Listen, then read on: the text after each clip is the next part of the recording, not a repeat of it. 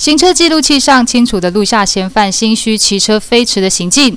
二月十八号，成功镇新港渔港安检所破获了私自捕捉金豚，再将金豚肉加以贩售的不孝渔船。由渔业署的驻地稽查员鉴定之后啊，那确认为那个金豚肉。那针对这个部分的话，这个涉涉案的船船长啊，涉嫌违反野生动物保育法。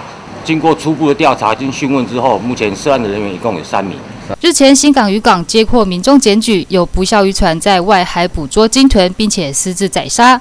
按着情报，大队人员在埋伏了两个星期之后，二月十八号这一天，在涉嫌渔船的附近发现可疑车辆以及人员，正在搬运疑似肢解后的鲸豚肉，共三袋。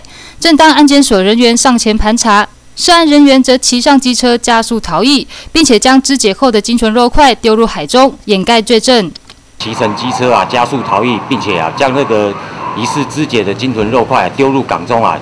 安检所人员从海里打捞涉嫌人所丢弃的鲸豚肉块，每块大约十七到二十五公斤左右。经过初步调查，涉案人员共是船长以及一名船员以及一名接运工，共三人。这私自捕捉鲸豚的行为已经严重违反了野生动物保育法，依照罚则将处六个月以上五年以下有期徒刑，得并科新台币二十万元到一百万元罚金。东台新闻综合报道。